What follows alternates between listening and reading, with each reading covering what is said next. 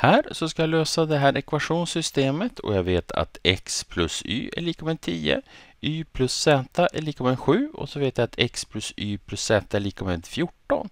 Här kan jag göra på exakt samma sätt som jag gjorde i b-uppgiften, men Eh, det finns ett enklare sätt och man kan även lösa den här B-uppgiften på det här enklare sättet. Så jag tänkte att ni ska få båda alternativen. Så som sagt, B-uppgiften kan vi lösa på samma sätt som jag kommer att lösa den här C-uppgiften nu. Och det jag gör här, det är att jag ser på den här ekvationen x plus y är lika med 10. Jag skulle kunna använda den andra också, den fungerar minst lika bra. Men jag ser då att x plus y är lika med 10. Så istället för x plus y här så vet jag att det där är lika med 10. Så den här ekvationen kan jag om jag stoppar in då 10 istället för x plus y skriva om så här då.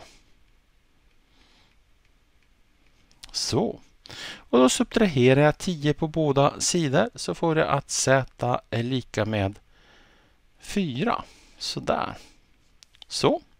Och så sen så stoppar jag in en 4 där så får jag att y är eh, y, y plus 4 är lika med 7. Jag gör det i två steg här. Eh, y är lika med 7 minus 4 som är lika med 3. Så svaren här blir alltså då x, y, z. x, y, z jag hade bestämt Z till 4 och jag hade beställt, bestämt Y till 3.